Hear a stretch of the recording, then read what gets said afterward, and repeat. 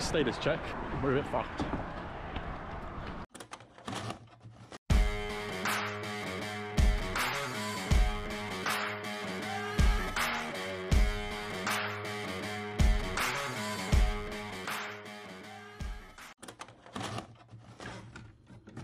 I never intended to run a marathon. I played elite sport my whole life. I used the gym to control clinical depression for the last 10 years, and I'm by no means an endurance athlete.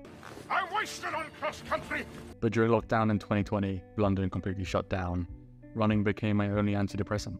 I had no idea what I was doing running 7, 10, 15 kilometers as fast as I could. No clue about the Maffetone method, easy runs, mid 20k bathroom breaks.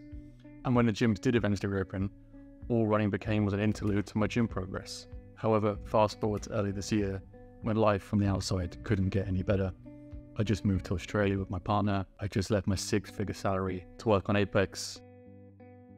I was in a dark hole, and I, I've been there before. Uh, clinical depression is, is not new to me. It's been it's been ten years now. Uh, that this felt different. The gym wasn't cutting it, but it kind of dawned on me that I needed a, a bigger challenge. Around March time this year, as the, my depressive episode was was kind of in, in full flow, the YouTube algo chucked Nick Bare at me. I was kind of looking at Apex from a much more kind of wider perspective, and I zoomed out and realized that I was a hybrid athlete. Um, I connected with hybrid athletes, and, and that pivot was a, a big part of, of where I was going. And as happens with clinical depressive episodes, the, the fog does lift. Serotonin kicks in. You do start to see the light, and that's when I realized that it was time to run a marathon. At the beginning, I had a very simple goal run a sub four hour marathon. It meant using my race pace about kind of 538 kilometer. I was hoping to cover the 42.2 in 3 hours and 55 minutes. My training split for running was equally simple. It was three easy runs, one interval or tempo run, and then a long workout run on the Saturday morning. And then I threw in four of my compound gym sessions on Monday, Tuesday, Thursday, Friday. Over time, they started at high volume, high intensity, and they tapered down as my, my kilometer volume increased throughout the training block. Now, the very best thing about the marathon prep for me was was calories. Depending on the length of the run and the gym session, I was eating kind of 500 to 2,000 calories uh, more than I normally would, just to maintain muscle mass, kind of recomp body fat, and just maintain a high level of recovery or running intensity, and to keep up with that volume. My running split introduced me to easy runs and the Maffetone method. It was an awesome change to slow down, uh, learn how to control my heart rate. I began my easy runs in, in the 6 minute 20 per kilometer range. Um, I found myself being able to run back to back to back day after day and not feel the consequences. I, began to understand and, and really get to grips with what it meant to run long distances at a sustained pace you really do build confidence. And so much of marathon prep is simply just adding on kilometers bit by bit. That for me was a massive part of, of the training, and, and I love these morning runs. So we've been running a week. Having crushed the, the 30 kilometer long workout, that was my, my penultimate long workout of the training block. I took a, an easy run on, on the Monday morning, a recovery run. And about six, six and a half kilometers in, I felt a really chronic pain running through my left heel and inside my left foot. Uh, I was about five, six kilometers from home, and I just hobbled my way back. And I knew something was wrong immediately. It was something I wasn't expecting. And that walk back really had me thinking that I was in, in trouble for the marathon. A quick Google suggested the symptoms were, were peroneal tendonitis, probably a base issue of, of plantar fasciitis, which, you know, as a, as a runner is not uncommon. But in this state of my training block, I was about to come into my, my highest volume week, my peak week. Uh, it was painful, and I knew I was in trouble. And I knew, if I'm honest, I wasn't entirely sure how to handle the injury at that point in time. One week later. The week after the injury, I took a, another gentle recovery run just to see if I could roll my foot out. Uh, we got to nine kilometers and it was sore. This was error number one. I just didn't give my, my foot enough time to heal. But I couldn't stop the volume. I couldn't take another full week out. My mindset was just push through and keep up the fitness and maintain movement in my legs and, and my muscle and oxygen systems. Uh, so I pushed on and I did three more runs that week, tapering down. So there was another nine, another 10 kilometer. And then on the Saturday, I had planned a, a 20 kilometer, which was going to be my final long run of the training block, and I only made it 14k. I knew I was in trouble. In fact, when, when I finished the run and I came back, I just I just didn't think I was going to make the marathon. At that point, I took a decision to simply just do whatever it would take to get to the start line on the 2nd of July for the Gold Coast Marathon. For the next seven days, I just didn't move. And if I'm honest, this was big error number three. Combining a moon boot, ankle support, rolling, massage, footpaths, I didn't move I rested my foot as much as possible. And I didn't run until July 1st, which was 24 hours before the marathon. I just wanted to do a shake-up run, just wanted to see how it felt, how my foot felt, and the run went fine. However, deep down, I think I'd made an error with my training at the end of this block. Due to trying to get onto the start line, I, I, I was so determined to use this marathon to control my depression, to prove to myself that I could push again and again and again. I frankly overlooked a, a crucial factor. Marathon day was here, so we had a, a 6:15 a.m. gun start time. So we were up really early and, and getting into the, the morning routine, uh, which I'd gone through numerous times in practice. So it was straight up uh, hydration, which was electrolytes, sodium, and then uh, English muffin with with honey and banana, and that's gone down great. It's managed to control, and it's my stomach when I'm running. So I felt confident. Uh, I rolled my calves, I rolled my quads, I stretched, uh, did some dynamic movements, and if I'm honest, I, I, I was feeling good. First up, we've got the bib. Um, in the bib is uh, obviously um, microtrip uh, bib number and nickname, Apex, obviously Apex brand. We have Apple Watch SE, uh, fully charged, ready to go, and Nike Run Club app, which would be fantastic. We are taking the trusty GoPro Hero 11 Black, which um, has been great so far. There is some weight to it, but we'll carry it in the left hand, and um, yeah, I can always drop it at some point off to if I need, but otherwise GoPro's coming with us.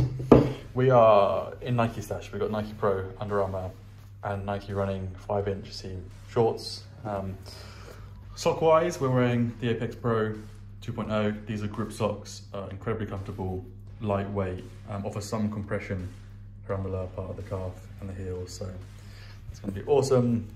We are in the Apex Solar 1.0 sunglasses. These are a prototype that we have releasing uh, later this year. Um, so yeah, we're excited to give these a test run. Um, UV 400, bit of nose protection from the sun, very comfortable uh, branded with the Apex branding as well, which is awesome. So getting one out of those. We're in the Vaporfly 3, which if I'm honest, I'm still not completely sold on. Um, they fit great through the midsole. They're a little bit loose through the heel. Um, they've done about 60, 70 kilometers, uh, one long run to date. Um, so they're going to first proper marathon run out tomorrow, so that's going to be interesting how they go. And then nutrition-wise, we're obviously taking water, electrolytes, but we are using the Maurten Gel 100. Um, I've tried a few, but these seem to offer the least amount of impact on my tummy, uh, less toilet breaks, less bathroom breaks. So these have been great so far. I'm going to take them at 8, 16, 24, 32, 40, but probably bring that to 38. Um, and I get about seven, six, seven K energy out of them, so they're, they're really good. So that's awesome. When I got down to the start line, I was probably slightly overwhelmed. As soon as I got down there, my, my heart rate was 148, 149. I was, I couldn't control it. And I think it was a mixture of anxiety and obviously nerves as a first marathon runner. If you're running a first marathon, you expect that it's going to be exciting, expect that it's going to be going to be different the, the walk down to the start line as well was was reasonably uncomfortable. You, you know, the gun's gone off. You've got three or four minutes to wait, and you're walking down to the start line, and your heart rate is just kind of going and going. You're trying to stay calm. You're trying to breathe. And I didn't start my watch until I, obviously I, I crossed the start line. But as soon as I crossed and I started running, sort of making our way across Main Beach Bridge and, and down towards down towards surfers, my heart rate was 140 150, 160, and way higher than any of the long runs I'd done.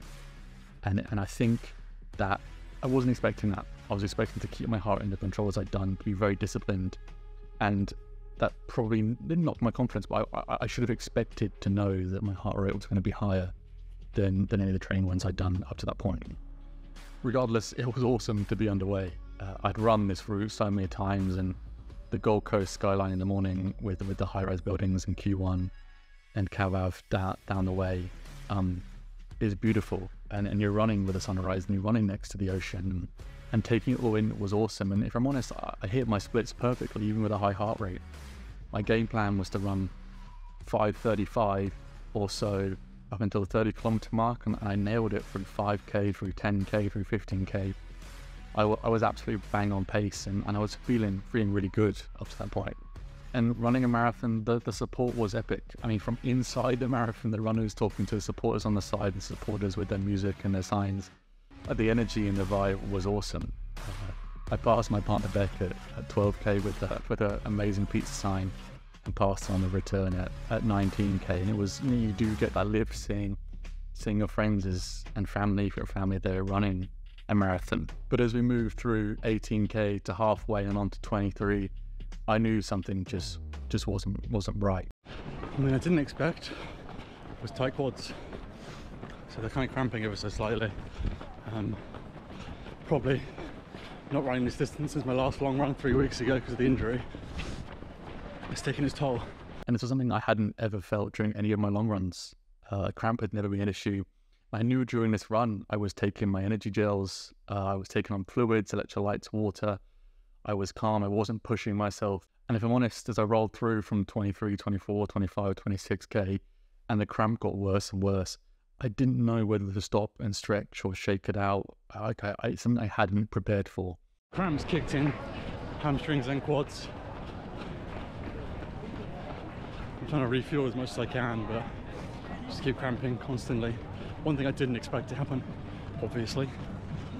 So yeah, we're gonna keep cruising along. Keep doing what we can, get the pace up and just push. I chose to just push through. I chose to to keep turning my legs over, to keep seeing how I felt as the kilometers pushed on and, and I'm in my head I was like at 30, 32, I'll assess and I can I can stop then. If I'm honest, I think it cost me at 28.8 kilometers, the the cramp built, and I just had catastrophic cramp. Uh, both quads locked up, left hamstring locked up, and my legs went completely straight, and I just toppled over onto the side of the road, onto the pavement, and I, I couldn't move. So laying there on the floor, uh, a nice guy walked past, and I asked to borrow his phone, and I, I just I rang my partner. and I said, you know, I, am out. Like uh, I can't move my legs, I can't run. I've been down for three, four minutes. And I was like, uh, you know, if I can't move my leg and I got cramp, I can't continue. And I was I was confused and I was absolutely devastated to just be, be lying there thinking my goal time is done. I'm not going to finish. And just watching runners go past me, it was it, it was a really tough moment after everything, after three months of work, after three months of of routine and discipline, to bring myself to the place where I could run a marathon. And then what happened next taught me a life lesson I already knew, I just hadn't had to use for a long time. Cramp blown up completely in the hammies and the quads. Um, I'm going to walk it for a bit. A very nice man here has stopped on his run to, to look after me for a second. Um, yeah, I'm, I'm, I'm, not entirely sure what to do next. I might just walk for a bit and see if I can continue onwards. Um, but yeah, so I'll catch you in a bit. I said thanks to the the kid I met who I don't know your name, but you know, uh, thank you so much. You saved my marathon, and I, realized a lot in that moment about simply just getting up again and walking when you're down is is so important. And sometimes you do need help from someone else. And yeah, I think him helping me was probably the main reason, one of the main reasons why I wanted to finish was because I then understood this wasn't about my time. It wasn't about running sub four hours, which was my goal time. This became pushing beyond limits of just finishing. I did this for, for 13K. I, I just jog a little bit, stop because of cramp, walk a little bit, and just try and keep turning my legs over. I tried to stretch out my hammies, but that just caused cramp. I tried to stretch my quads, that just caused cramp. Again, cramp. Fuck. All through my left leg. Ah. We're just shy of 32 kilometers in. We're about actually over 32 now. So we're getting there. You can shake this one out and go again. We've got 10k left, that's all it is. Didn't expect cramp. Alright, see you on the other side. I'm struggling to walk at the moment. Though I see Jeremy and Ian up here on the left. So we're gonna go say hello and probably tell them to message Beth because I'm barely moving. A lot of time fucked up.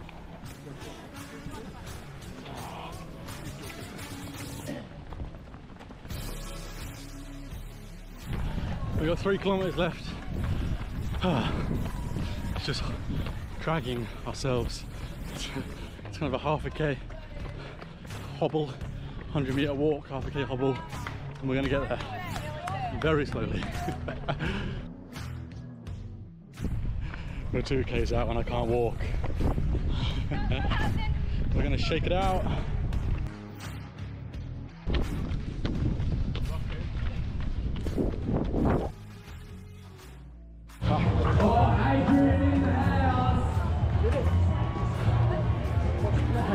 Just got 430. I can't move. I'm gonna go sit down. Fuck.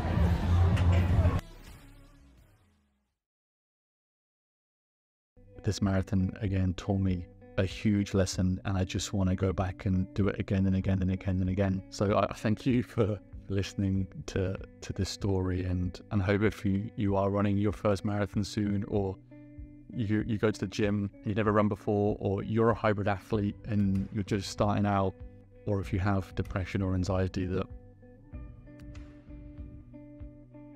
you can do it.